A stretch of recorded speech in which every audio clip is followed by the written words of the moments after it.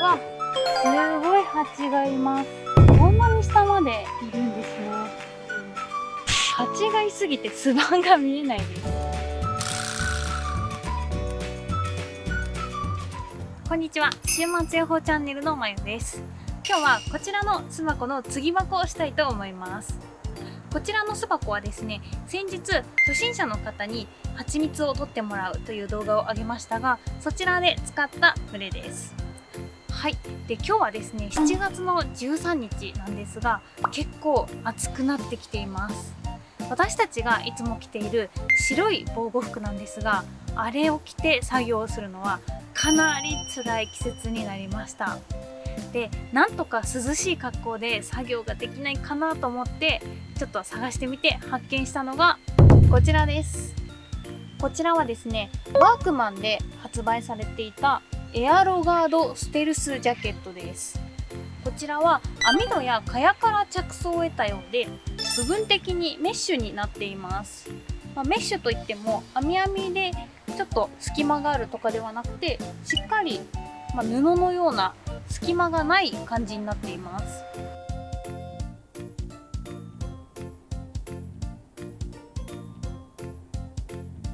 こちら虫が嫌がるような加工もされているみたいでこう虫が寄ってきにくいみたいですね。ただこちらは養蜂用ではありませんのであんまり真似はしないでください。それから継ぎ箱というのは蜂蜜を取ったりするよりも刺されにくいかなと思って試してみることにしました。はい。着てみるとこんな感じですね。まあ、でも風はちょっと通しにくいかもしれないですね。でもあの白い防護服はもうがっつり風を通さないので、まあ、幾分こっちの方がいいかなと思います。でこれのすごいところがですねこうフードがついているんですがこれをかぶってでファスナーがなんと 上まで締まります。こうなるんですね。でこの辺にマジックテープがついていてここにベリベリがついてるのでこうすると、あ、このなんかチョンってとんがってたやつが、まあ、丸くなる感じですかね。ほっぺたの辺りはちょっとひっついてますがどういう風に見えてるかちょっとわかんないんですがこっちからはちゃんと見えています。ここに真ん中にファスナーがあるのでちょっと視界は、ま悪いですがでも見えないということはないので、まあ、これでも十分作業はできそうですね。はいそれではこれで次はこうしていきたいと思います。はいそれではまず屋根を取っていきます。これすごいね。ポケットがいっぱいあっていいですね。やりやすい。よいしょ。はい。それでは次に持ち上げ機を設置していきます。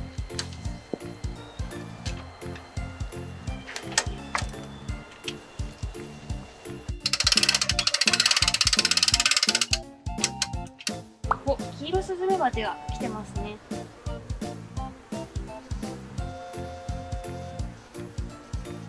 黄色スズメバチは以前に30分ぐらい狩りをずっと見学した動画を出したんですが30分見ててやっと1匹捕まえたぐらいなんでニホンミツバチに対してそんなに影響はないんですね。なので週末予報では黄色スズメバチに対する対策などは特に行っていません。これで巣箱と持ち上げ機を固定します。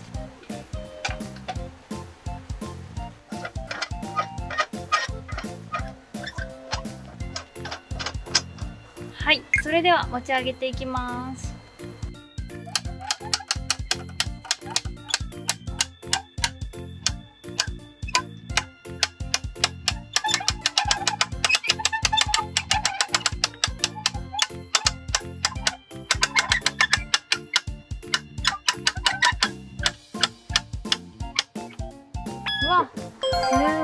すごい蜂がいます。こんなに下までいるんですね。かなり元気そうな群れですね。蜂がいすぎて巣板が見えないです。どこまで巣があるのか全然わからないですね。ちょっとかなり暑いですこれ。なんか蒸す感じ。なんかちょっと風通しが。あ 新鮮な新鮮な空気。あやっぱりちょっと風通しが少しまあ良くないのかな、まあ、そういうものなのかもしれないですが。ちょっとずっと閉めとくとちょっと息苦しい感じになるかなっていう感じです。どうやら蚊に刺されないようにするためのものなのかなっていう感じもあるのでこの網目みたいなのがすごく細かいのかもしれないです。でも着てる感じは、まあ、普通ですね。今多分気温30度ぐらいあると思うんですが半袖の上にこれを着ててもまあ別にそんなに暑くはないです。まあ普通ぐらいですね。はい。じゃあやっていきましょう。はい。それでは次箱をしていきます。数値防止棒がついている方を上にしてミツバチを潰してしまうと怒らせてしまうのでなるべくミツバチは殺さないようにしていきます。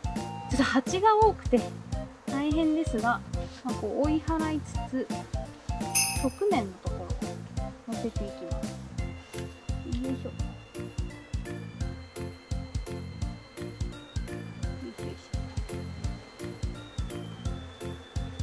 はい。そしたらスライドさせていきます。スライドさせていくと蜂がどいてくれるのでここまでスライドさせます。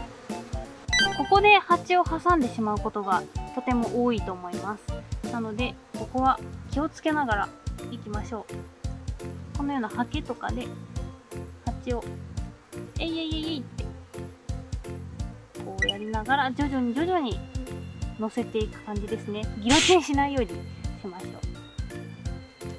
よいしょよいしょ。よいしょはい。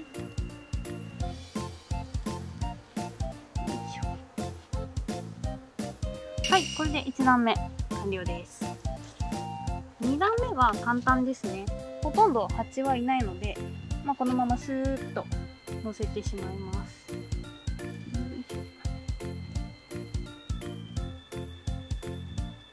はい。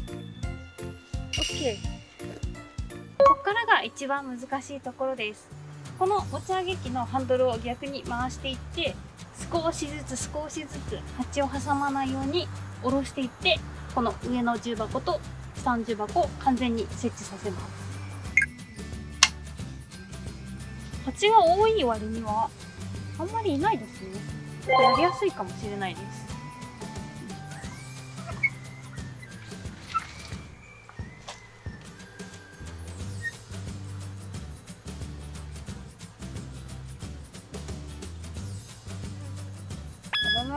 なんかいないと思ってたけど下からどんどん上がってきました。あ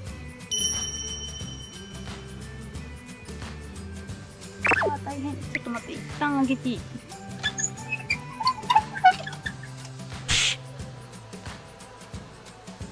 まずこっちが設置しますね。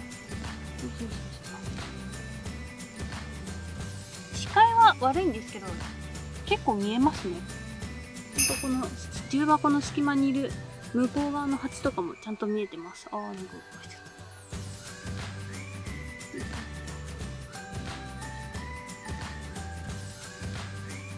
徐々に徐々に。進まないよ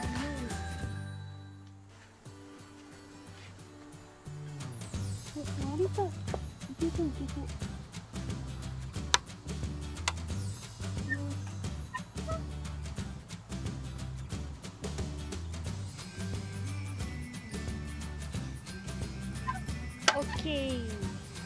はい。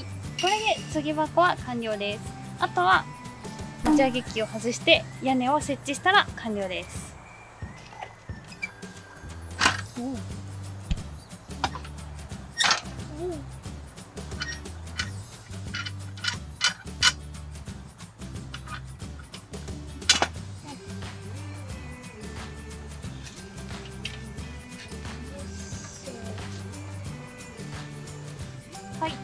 とずれているので、これは手で直します。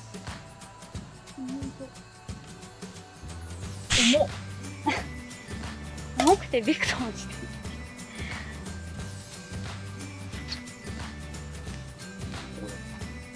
お、オッケー。はい、ありがとうございます。ちょっと出して熱くないの？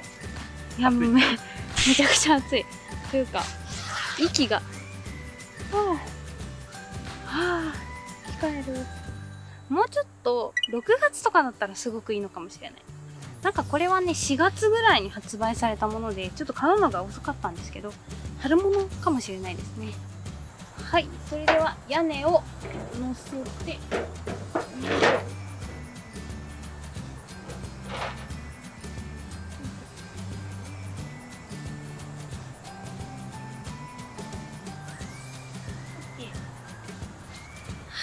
これで継ぎ箱が完了しました。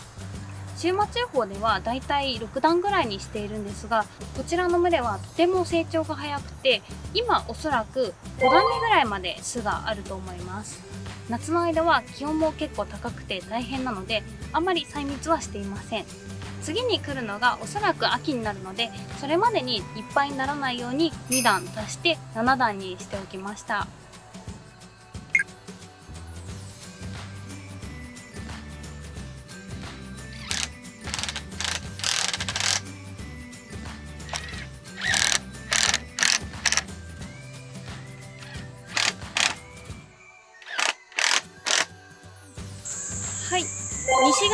南側に日よけの板をつけました。これで OK です。はい。ワークマンのこのエアロガードステルスジャケットを着てみて継ぎ箱をした感想なんですが今日はですね気温がだいたい30度ちょっと超えるぐらいで湿度がかなり高いです。まあ、日は出てなくて一日だいたい曇ってる感じなんですけど結構暑いです、まあ、夏物ではないのであまり風通しは良くないのかもしれません。色が黒しかなかったので黒を選んだんですが黒だからといって蜂に攻撃されやすいとか、まあ、そういうことは一切感じなかったです。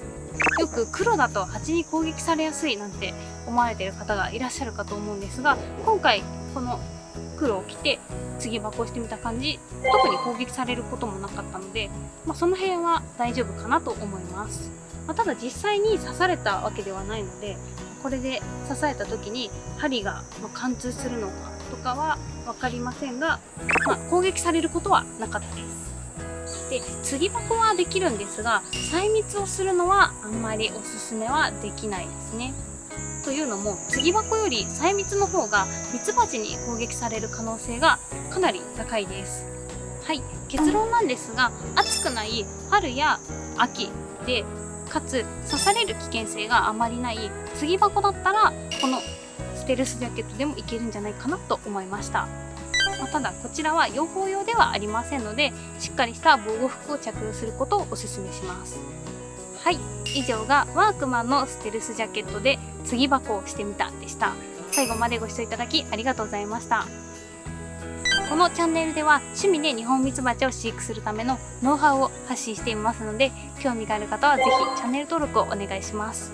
この動画が面白かったという方は是非コメントやいいねボタン押していってください。それではまたお会いしましょう。さようなら。